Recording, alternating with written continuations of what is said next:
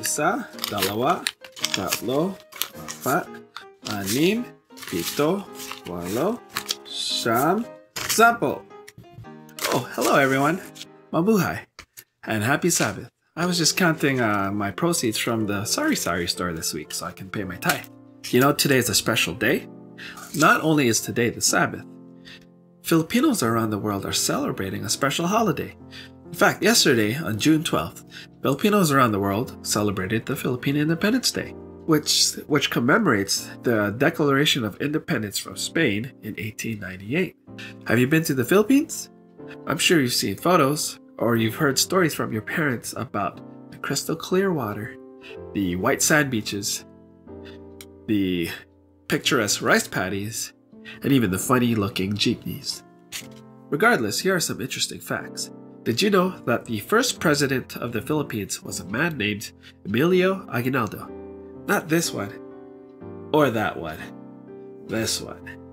He was a general and the president of the then revolutionary government during the time of the Declaration of Independence. In fact, the declaration was signed in his home, and today his home is um, immortalized on the 5 peso bill. Another interesting tidbit is the official formal attire of the Philippines is called the barong, similar to what I'm wearing today. The barong is the official formal attire of the president, and you'll see it worn at formal events such as weddings and all sorts of government events. The barong has a unique history. It is officially known as the Baro ang Tagalog, which means dress of the Tagalog. Today we just call it the Barong Tagalog or Barong for short. Barongs come in a wide range of styles, shapes, and colors. This one is a plain short sleeve variety. There are colored ones like this one. This one is a short sleeve purple ombre variety. It looks quite nice, don't you think?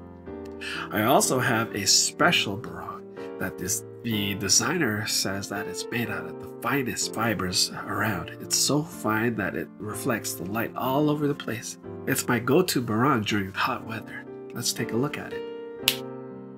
As you can see, this barong is very light and airy. The light reflects everywhere. It's just almost transparent. I hope you like it. It's my favorite barong. Have you ever wondered how barongs are made? The fiber of your barong is made out of pineapple, piña, or abaca fibers. It's an interesting process. Let's take a quick look at how it's made.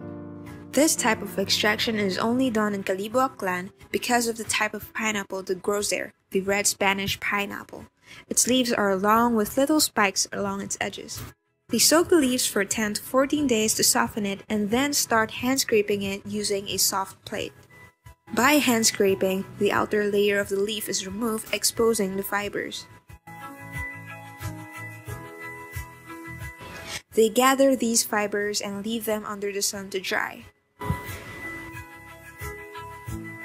They then start knotting each to form a continuous line or thread of piña fiber. Afterwards, they warp or spin this long thread of piña fiber to prepare it for hand weaving or hand looming. For this type of fiber, they use a traditional hand loom made from strings, wood, and bamboo.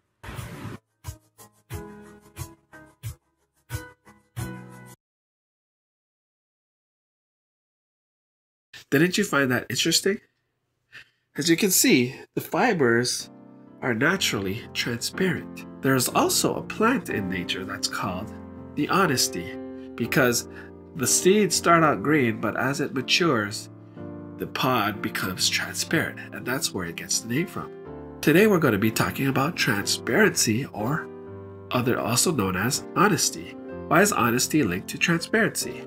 Being transparent or see through has long been a metaphor of being honest, which means others can see through our hearts and our facade that we put up. And we are upfront about our emotions.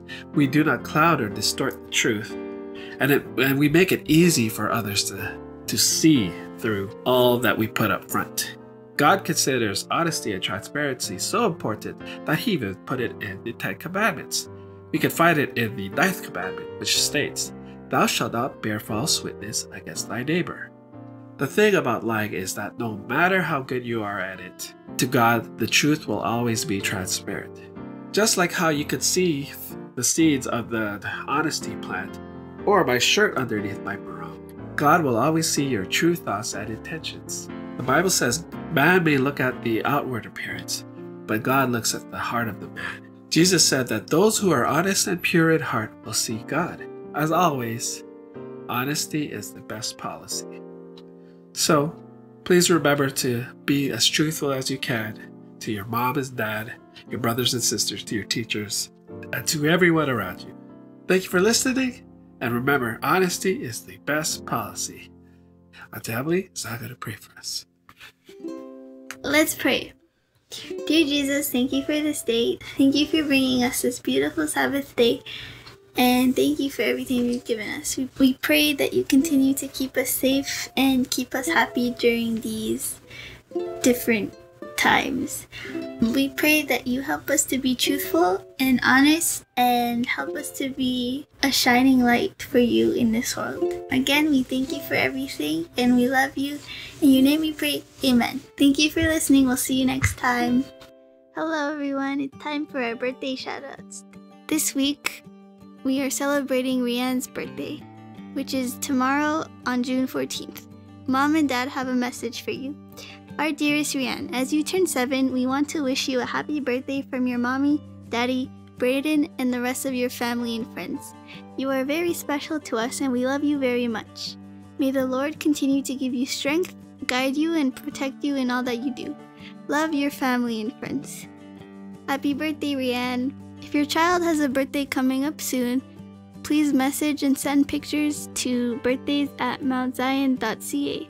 Thank you and have a great day.